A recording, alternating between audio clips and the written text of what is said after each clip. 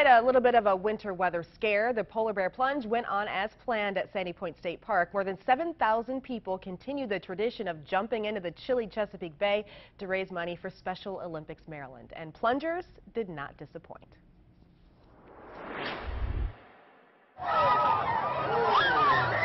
The shouts and cheers come from a place of being freezing cold and pure joy.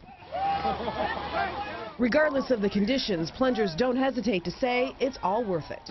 It was really rainy last night, and it's a little bit of ice, maybe a little bit of sleet. Uh, a lot different than last year. Last year was super snowy and very difficult. Um, but regardless, you know, the, the water may be cold, but our hearts are warm because of what we're able to do for those athletes. Super Plungers started on Friday and took a dip once an hour every hour for 24 hours. Saturday, thousands more joined in.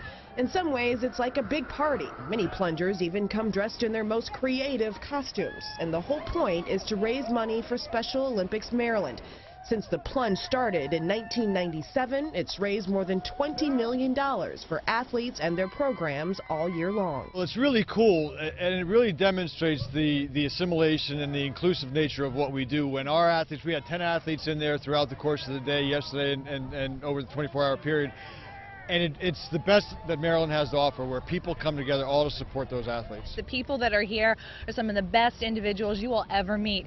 It's an incredibly bonding experience to do something like this of 24 hours, and you're challenged physically, you're ch challenged mentally, and you get to know these people and form these bonds that are lasting forever. So great. WBAL is a proud sponsor of the Polar Bear Plunge. We're hoping to have an update on how much this year's plunge raised coming up later tonight.